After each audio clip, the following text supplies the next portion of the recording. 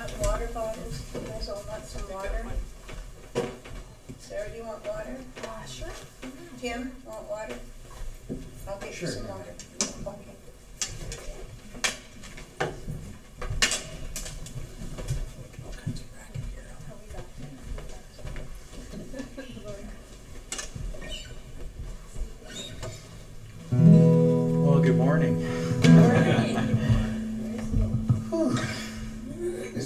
going to start with a new song that we've never sung before, but it's really simple. And it just goes turn it over to Jesus three times, and then you can smile the rest of the day. and so you can start smiling as soon as we sing it.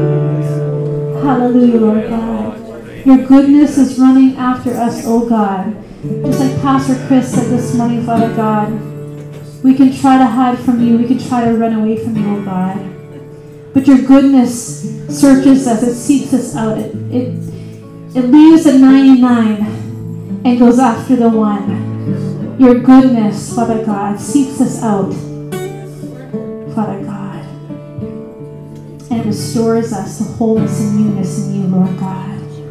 Hallelujah. We praise your holy name. You are worthy. You are holy, oh God. You deserve our praise, Father God. There's none like you, Lord. There is none like you. We can search all over to find one, but we cannot find one but just you, Lord God. Just you. You are holy. You are perfect, oh God. And you give us your righteousness, Lord God. You clothe us in your righteousness, oh God. Hallelujah. You are a good Father. Hallelujah. At the cross, at the cross, where I first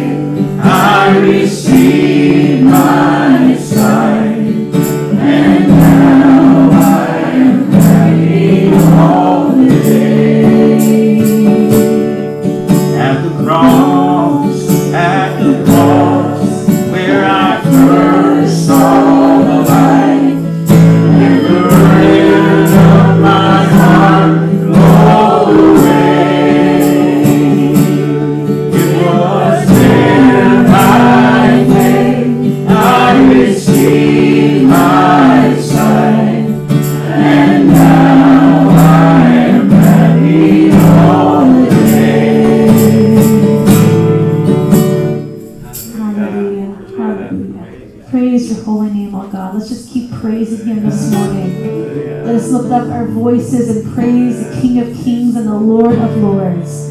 Let us not let the rocks cry out in our place, oh God. Hallelujah. We worship you, Father. You are in this place. You are in this place this morning, oh God. You are in this place. We welcome you, Holy Spirit. You are here right now. You are here right now, Lord and God.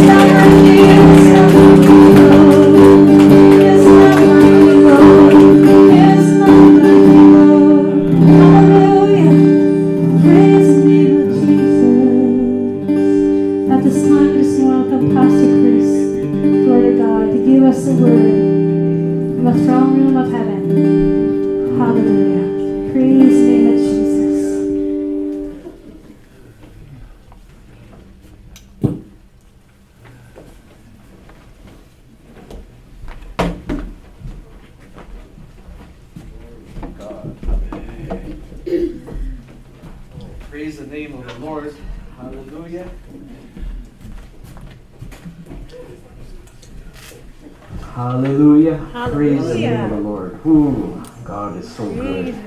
Amen. Oh, God never ceases to amaze me. I love how God is so good. When we minister to Him, He ministers to us. That's the position. Worship ministers to His heart and allows Him to minister to our heart. But we have to come into His presence. Amen. Otherwise, He cannot minister to us. Hallelujah. We've been praying all morning. We're going to keep praying. We're not done yet. So let's just bow our heads if you're joining with us online.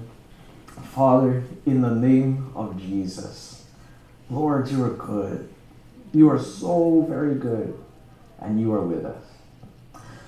So, Lord, as we come before you in the name of Jesus, pray, Holy Spirit, that you will minister to each of each heart, every person who is watching.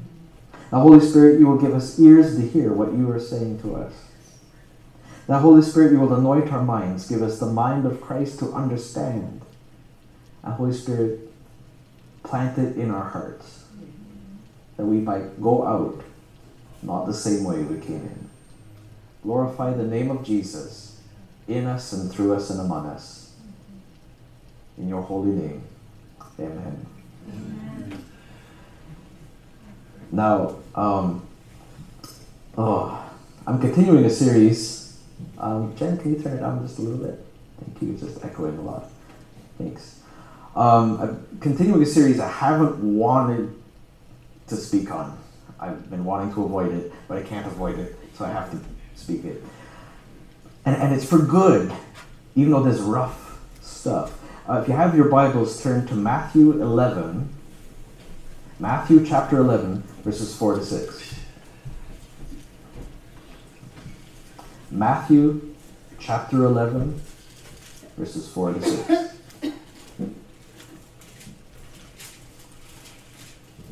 Now, before we get into it, I'm just going to give you the context very briefly. When John the Baptist baptized Jesus, the voice of the Father was heard speaking over the Son, saying, This is my beloved Son with whom I am well pleased. As the Spirit of God descended upon him like a dove, that this Jesus is the spotless Lamb, the one who takes away the sin of the world.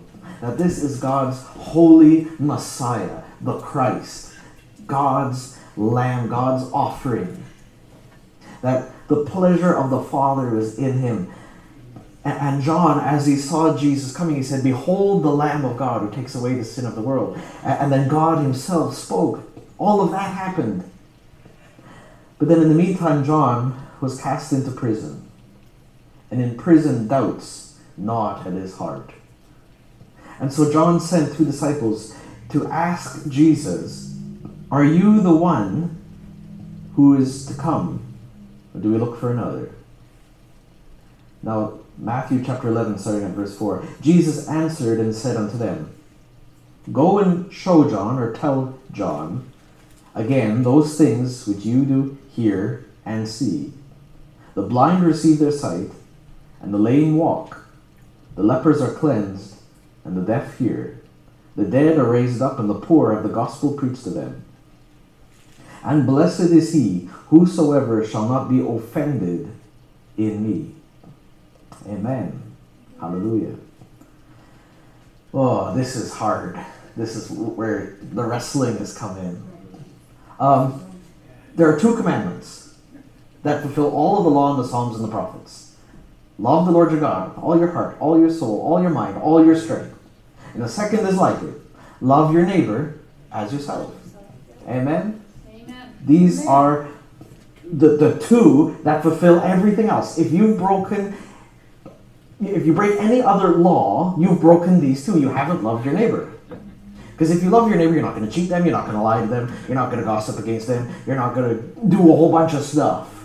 If you love God, you're going to obey Him. You're going to walk with Him because you want to.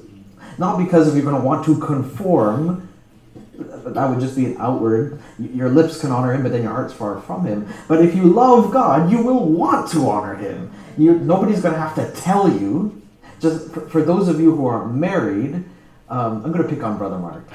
Um, Go on, go on. because um, I love you, and, and thankfully you're not saying love me less. I, um, I don't have to give you a list of say these are the things don't do to your wife. Don't beat her, don't lie to her, don't cheat against her, don't do all of these things. Any of you and, and, and Eleanor, don't do those things to your husband. You don't need that list. Oh, shucks. No, if you love each other, you won't do that. You don't need a list because you love each other. Because love fulfills the law. Amen? God's requirements are fulfilled in love. Love is the fulfillment of everything. So there are two you're called to love God and people. Now I'm getting to something here. Those two will offend you. Oh boy, that's where it got quiet. God and people will offend you. Yeah. Jesus said, Blessed is he who shall not be offended in me. You think, well, why would Jesus offend anybody? I mean, that sounds good. How can we be offended by God? We, we figure out how we can be offended by people. We're going to look at that next Sunday. Uh, but it's a bit of a double whammy because God works through people.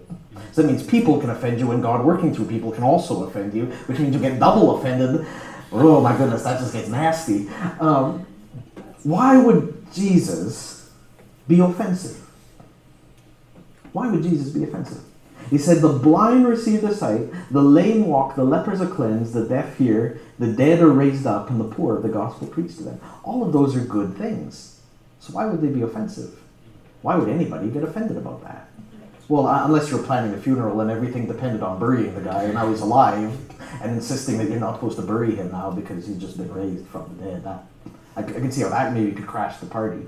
But, you know, nothing ruins a good funeral like, you know, not being dead anymore. Um, and, and, and present to hear what everybody's saying about you. They're saying all these nice things about me. um, ho- hopefully, anyway. And, and then say, you know, just leave enough of the funeral lunch for me too now. Um, and, and don't put me in the hole, please. Um, but how could blind seeing, lame walking, lepers being cleansed, deaf hearing, dead living, and the poor made rich, the captives being set free, how could that be offensive? The Pharisees often got upset when Jesus did things. Frequently. It, it seemed to happen all the time. Every time something happened, Pharisees got upset. People got upset. It, it's really interesting when you look at you think, why did they get upset? Well, sometimes the timing was off. Jesus insisted on doing things on the Sabbath. That was incredibly annoying.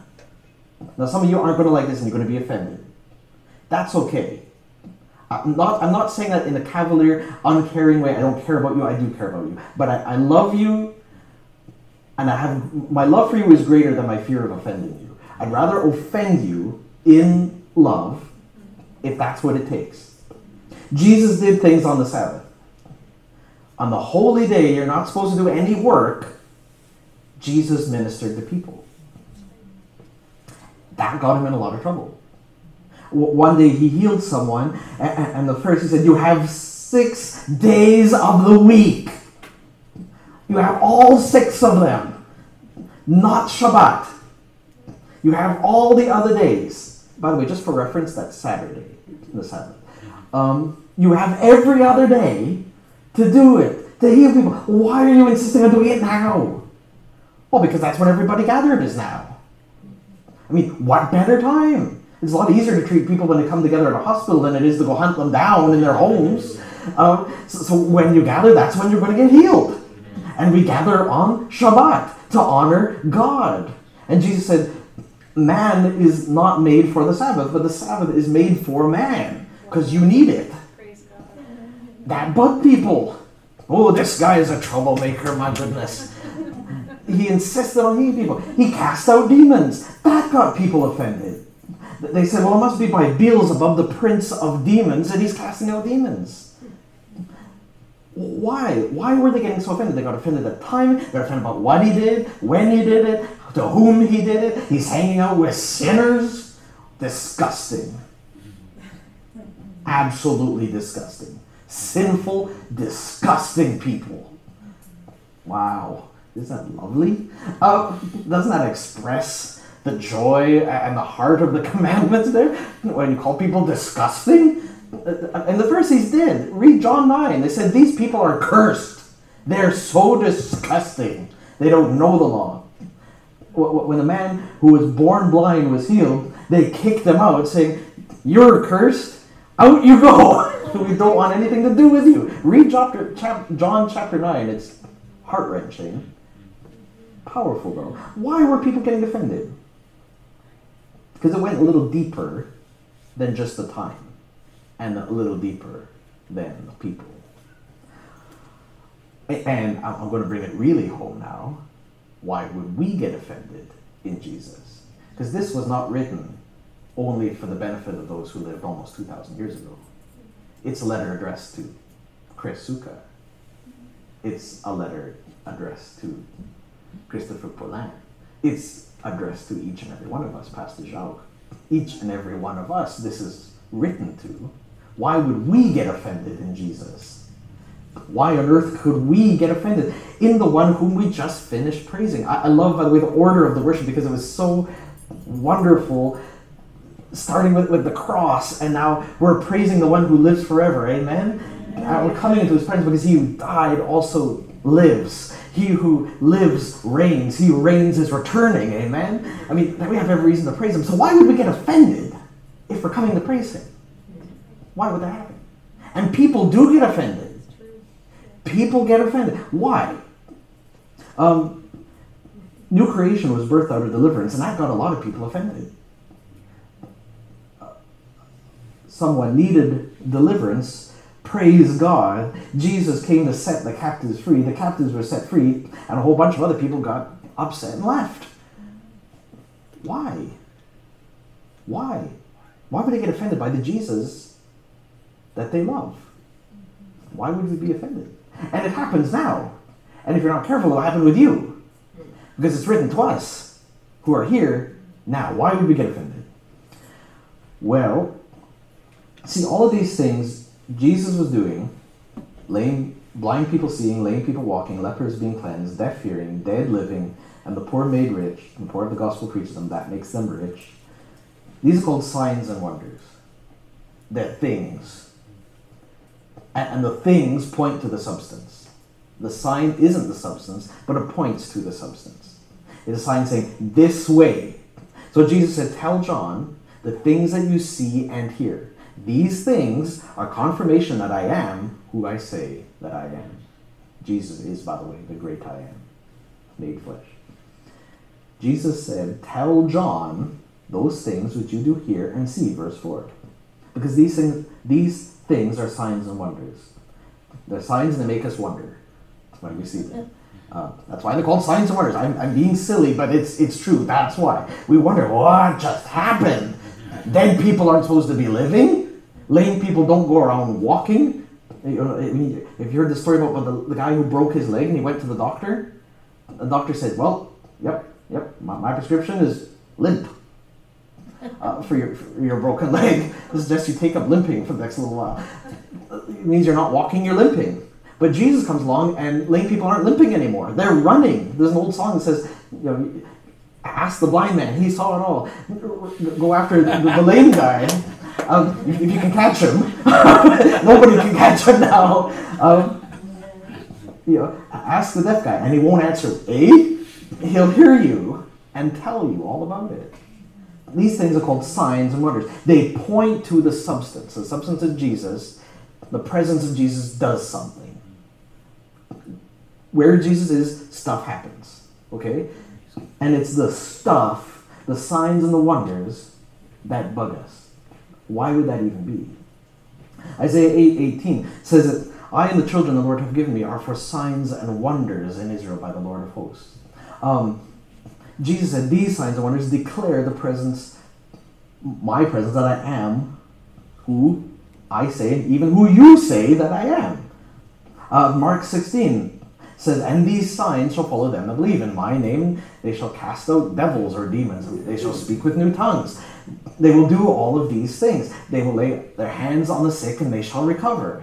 All of these signs and wonders shall follow us. And there's too many of us. Us is a very broad category, but it includes everybody who's sitting in these seats right now. These signs shall follow Brother Ray. These signs shall follow Sister Alice. They shall follow Brother Jeff. Every single person who is here. Those who believe. That's the qualifier. Do you believe? You believe, then these signs shall follow you. Amen. If you believe. Now, here's the problem. Again, so what is it then about signs and wonders specifically? Because that's the thing that was getting people offended. Some guy gets healed on the Sabbath, not supposed to do that. Um, you're not supposed to hang out with tax collectors. They're way too sinful. Jesus came for sinners. Um, you qualify? You're a sinner? Yes? Good. That's why he came. Um, he came for every everybody who would need him, which is everybody. There's nobody who doesn't need him. Why would the signs and wonders, though, specifically offend the Pharisees and us?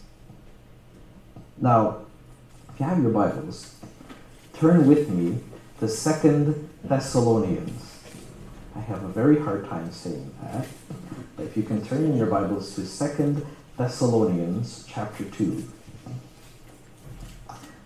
Either comes out usually Second Thessalonians or but Second Thessalonians chapter 2. We'll look at verse 9. And a few verses after. See, about a month ago, I preached a message called God the Box Buster. God doesn't fit in a box. But I want to look at why would we even have a box in the first place? Um, see, okay, what is the box? I want to define it before we look at these verses. I want to read them, but, but I want to define what the box is. What box? I don't see a box. Who told me there's a box? Uh, what's the box? The box is your theology, your knowledge of God, what you think you know about God. That's your box. Um, Solomon built a temple. It's a picture of the box. Second Chronicles chapter six. Solomon builds the temple. The temple is massive. It's, it was one of the wonders, seven wonders of the ancient world. It was massive, beautiful, covered in gold and cedar. It had massive stones, none of which could be shaped on site. They all to be sh- shaped off site and then brought on site and fit perfectly, and they all did. It was a, a wonder of the world. It was one of the most magnificent structures the world has ever seen. Now, Solomon takes this massive building in his prayer and dedicates it to the Lord. I'm getting to explaining the box. He takes this massive temple, dedicates dedicates it to the Lord. He says, Lord, you, the heavens cannot contain you, neither can the earth, much less this temple I've built for your name. Yet please see fit to put your name there, that when your people pray towards this place, you'll hear them put your name on the box. This is the box I've made. It's really beautiful, but I'm recognizing it's a box. and you don't fit. So please set your name on it. See, most, most of us, and you can be as wise as Solomon, you can have a lot of knowledge about God, you can have a lot of experience about God, but God, God will honor your box, but He will not fit in it. God responded to Solomon. He said, Yes, Solomon, I have heard your prayer. When my people are called by my name, when they turn and pray towards this place, I will hear them. I will hear from heaven. If they turn, if, if, if they turn from their wicked ways, if they humble themselves and pray, I will hear from heaven I will forgive their sin and will heal their land. The context of that passage, I mean, it has a lot more uses, but the immediate context of that passage is God saying, Yes, Solomon, I will honor your box. I will honor. But God doesn't dwell in temples made with human hands. He can't. God is infinite. That you can't contain him. The heavens he won't fit. The earth he ain't gonna fit. Much less new creation evangelical church building. Much less your little body where that he says, for don't you know that you are the temple of God? So, so, so the box is your understanding of God. Why would we put God in a box? And that's what I want to get to. Why do we have the box? Why, why must we have a box? Well, I'm going to get at that because passages, this one included, and there are others like it. I'm not going to get into all of them, we don't have time. Uh, we are all hoping that lunch will one day come, uh, preferably before the Lord comes. So we're going to look at some of them. Second Thessalonians chapter 2, starting at verse 9. Even him whose coming is after the working of Satan, with all power and signs and lying wonders, and with all deceivableness of unrighteousness in them that perish, because they receive not the love of the truth that they might be saved. And for this cause God shall send them strong delusion, that they shall believe a lie. Okay, this is the Word of God. The reason why we make a box is because we read this passage, others like it, and fear grips our heart. We think, oh no, oh dear, there's an enemy out there waiting to lie and deceive, and he's going to do stuff to deceive, and he could deceive me. Jesus said even the elect might be deceived if that were possible. So that idea grabs hold of our mind and our heart. It's the heart really where it lodges and causes the most problem. And so therefore, we we say, Well, Lord, I need discernment. I need to know truth from the false. I have prayed that prayer very specifically. I said, Lord, I need to hear your voice, and I need to know your voice so well that I can recognize the voice of the enemy because I'm scared silly. I don't want to hear the voice of the enemy, but I need to recognize the voice of the enemy, but I want to know your voice. Amen? Uh, so discernment is good. You need that. You need discernment. You need to know the truth from the, the truth from the false. However, when we see things like this, what we tend to do in our box, and this is where it's going to get offensive, and some of you might get upset. And I love you enough that I'm going to risk getting upset. What we do when we hear that, okay, God does signs and wonders, but Satan might do lying signs and wonders. So what I'm going to do to make a measure of discernment for myself in my own mind, I'm going to put God in the box. Then if anything does not line up to my experience of God, or my knowledge of God, it has to be the devil. And that's what we do, practically. Again, some of you, I'm sorry, you're getting upset. That's okay. It's okay that you're getting upset. The reason is, why do, so, so we do that. So we say, okay, if God does A, B, and C, if I see some E happen, it's not of God because God does A, B, and C. E doesn't happen. It's not supposed to happen. So therefore, anything that's outside of the box can get accredited to Satan. It's obviously Satan. And therefore, we don't need to ask Holy Spirit. We don't need to really pray. We don't really need to hear the voice of the Lord Jesus who called us. And we can just say, no, if, if, if there's this box, anything outside of it is wrong. Why is this bad? Why, why, what would be the problem with that? I mean, that would be easy. And that's what we tend to do. Okay, I've done it. I'm raising my hands here. I'm, I'm not just saying this to, I'm not saying this to condemn you. I'm saying that I've been there. Okay? I mean, I, I could write the book on, on box building for God. And I could then write it like the follow up box busting from God. Uh, every nice box got torn apart. They were nice, but they couldn't contain God. Why is this an issue? because you need to understand, we need to have a little bit of an understanding of the nature of God and a little bit of an understanding of the nature of the liar, the deceiver. God is infinite. He is the uncreated creator. He has no beginning, he has no end. There is no time, there's no space. He made everything, and everything else is finite. God alone is infinite. So all of the finite has to be within Him who is infinite, Him who is boundless. You can't search the ends of Him, you're not going to find them. His knowledge, His glory, His holiness, His majesty is beyond your finding out. Just when you think you know, He alone is infinite. And He made, the Bible opens with a short verse, but it's so powerful. In the beginning, God created the heavens and the earth. He made all things. And there is nothing apart from Him. Nothing exists apart from Him. You know, John 1 echoes the words of Genesis. John 1, verses 1 through 3 says, In the beginning was the Word, and the Word was with God, and the Word was God. The same was in the beginning with God, and all things were made by him, and without him nothing was made that was made. God is infinite. Do we understand that? God is infinite, as much as we can understand infinity. Everything else he made is limited, including Satan. Satan is limited. Comparing the two is like comparing a sardine to the ocean it's swimming in. That, that, that's uh, a, about it. The unlimited nature of God and the very limited nature of the liar, of the deceiver, who does do lying signs and wonders. So when many of us as, as believers, and again, I could have written the book on, on putting God in the box, we have a very limited list of what we think God can do. And we have a very big list of what we think Satan can do. And we think that anything that's not on that list, Satan can probably do it. There are so many problems to this. One, you're focusing on Satan rather than God. You're not listening to the Lord's voice. Jesus said in John chapter 10, My sheep know me, they hear my voice. If you know his voice, you'll know the one who's doing things because you know him. Now, well, we don't have to know him very well if we come up with an artificial construct. This is a little bit hard. Also, I, I want you to notice something. Second Thessalonians 2, verse 10. And with all deceivableness of unrighteousness in them that perish, because they receive not the love of the truth, that they might be saved.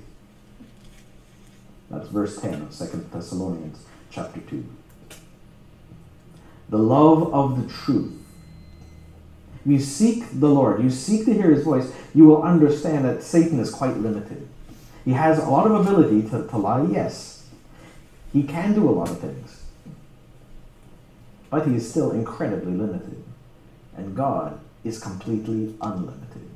God will honor your box, he won't fit in it. If you think God will fit in it, you're in for something else. God will not fit in your understanding. Eye has not seen, ear has not heard, neither is entered into the heart of man all that God has for those who love him. You, we don't get it. And, and honestly, and this is going to be offensive as well, it's okay not to get it. It's okay to realize that you don't know everything there is to know about God. He's infinite, you're not. As, as one worship leader used to say, God is God and you aren't. And that's really good. Because in that place I'm free to look to the one who is God, to look to the one who does, who, who can do anything. And, and when I recognize him, I can recognize the counterfeit. I can look at who is receiving glory in this moment. Is it Jesus or is it someone or something else? Who is receiving glory right now? Who is receiving glory right in this moment? There is so much freedom when we can get rid of the box that is causing us to be offended. Because that's how we become offended. You see, the Pharisees had a very narrow idea of what God ought to be doing and ought not to be doing. And, and, Jesus seemed to delight in crossing the lines all of the time, including healing on the Sabbath and hanging out with sinners and, and all this kind of stuff. And it bugged them because they had a very limited idea of what God could or not could not do. And unfortunately, oh, we can be in the same boat. I've, I've been there. I know what that boat looks like. I don't know if it's a boat, but I, know what being there is like. Wh- wh- When we limit God, it causes us to be offended. And we get upset with God because we don't even recognize what is true and what is not. And, and um, ironically, here's the thing when you become offended, you, and, which happens when you're we're in fear, um, it stops you from receiving the blessing. It disqualifies you from God's blessing. So you see, God does those things to bless. If I have a friend who is blind, okay, or sick, God heals them. If I love my friend, I should be happy about. Right? But if I don't think God can do it, I won't be happy about that. I will be upset that that happened because God's not supposed to do it. Well, they've been deceived, they've been lied to, whatever. I'm not blessed. My friend is blessed. I'm not.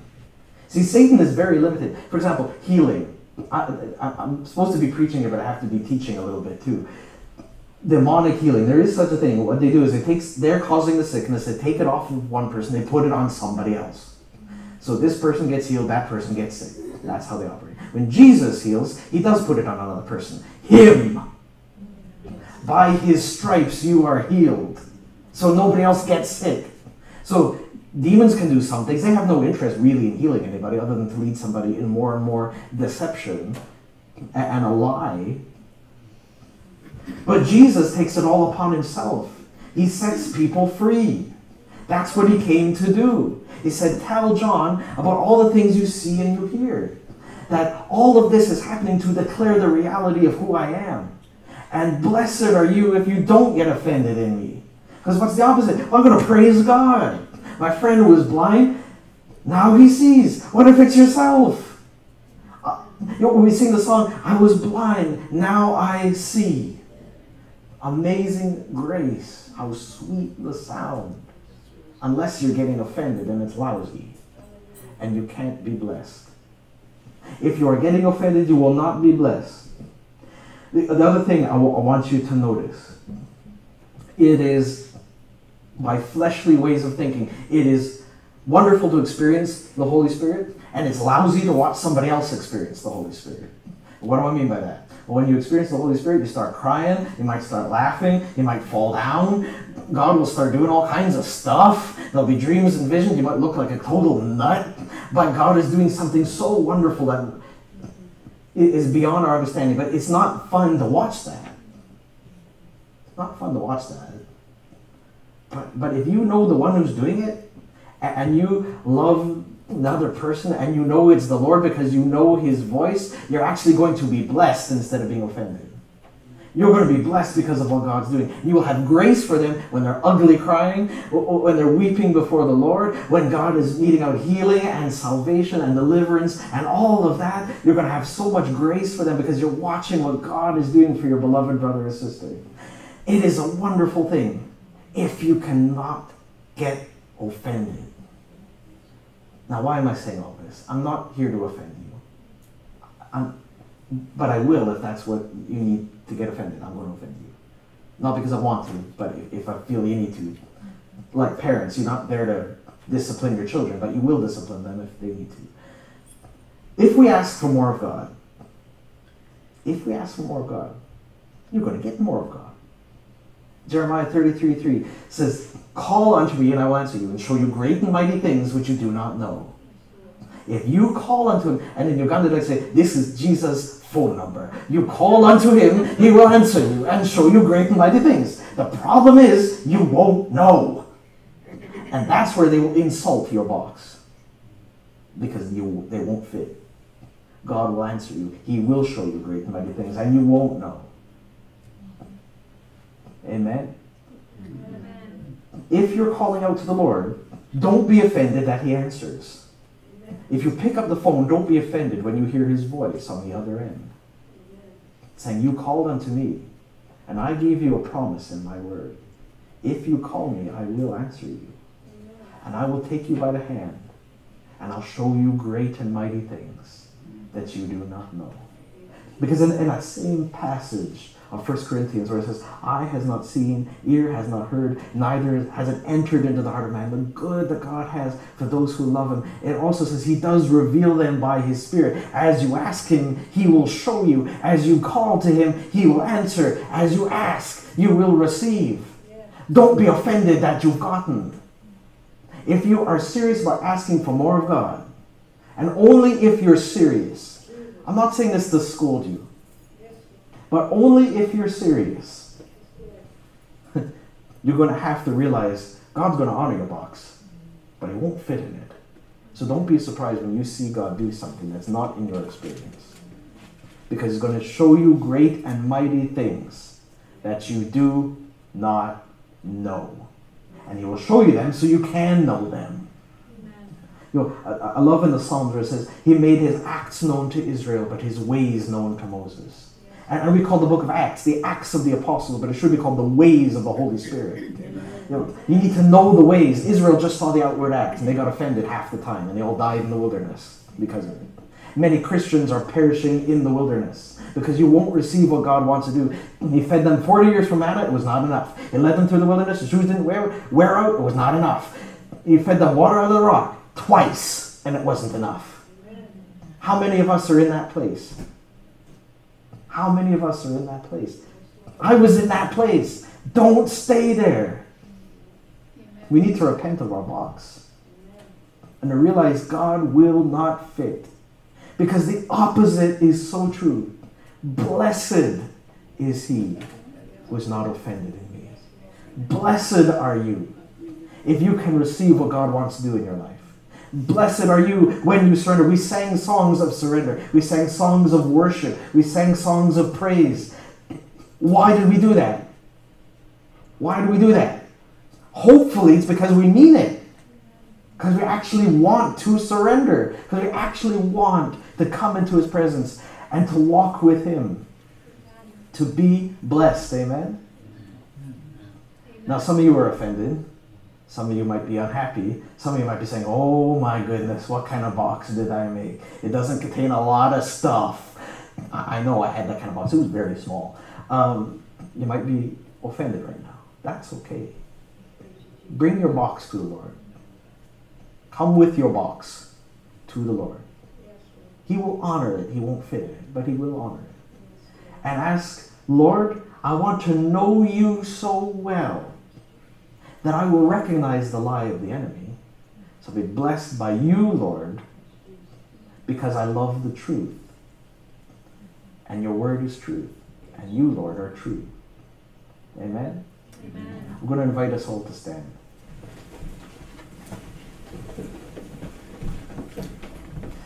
See, God wants to bless this church. He wants to bless this region. He wants to bless your families. He wants to bless every community around here.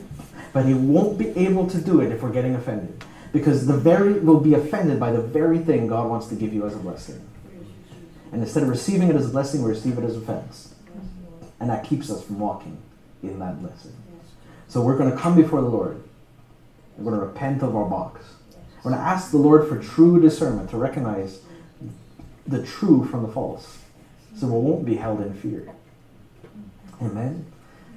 So, Father, we're coming before you in the name of Jesus. All of us as a body. Father, we ask your forgiveness, Lord, for thinking you could fit in our box. For thinking that we can understand everything that you are and all that you have for us. When your word clearly reminds us that we cannot. Lord, as we surrender to you with our box, we thank you, Lord, that you do honor our box. You meet us right where we are. And you don't chide us. But Lord, we, we also confess that you will not fit in our theological box. that we shall see things we don't understand. But Lord, if we walk with you, we will know you at work.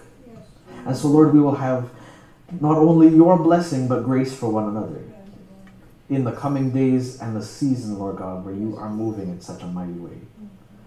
Father, we want the blessing. It cost you everything to give it to us. For the blessing is your very life. Lord, help us to receive it, to believe that we can receive it, Father God, and to walk closer with you, Lord. That, Father, your hand will be upon us, Lord God. That you will lead us and guide us, Father God. And we will see your hand move across this region, my God, and around the world in a mighty way, Lord God, as your people surrender to you. And Lord, it has to begin right here. It has to begin right now. Lord, we're believing you. Help us to be blessed and not offended. In Jesus' name, amen. As you lay down offense, as you bring it before the Lord, whatever it might be, you'll be blessed. If you hold on to it, you won't be. That's all there is to it. So pray you go out with joy and be led forth of peace. That if there is anything in your heart, that you'll take time to bring it before the Lord. And you'll ask the Lord, Lord, I need to hear your voice so clearly that I recognize the enemy. One final note bankers don't spend a lot of time looking at the counterfeit. They spend a lot of time looking at the real thing. So when the counterfeit comes, they recognize it immediately. That's what we have to be doing, amen. So go with the joy of the Lord, go with his blessing, his peace. Leave your offense behind. May the Lord bless you. May the Lord be gracious to you. May he cause his face to shine upon you. May he give you peace. Amen.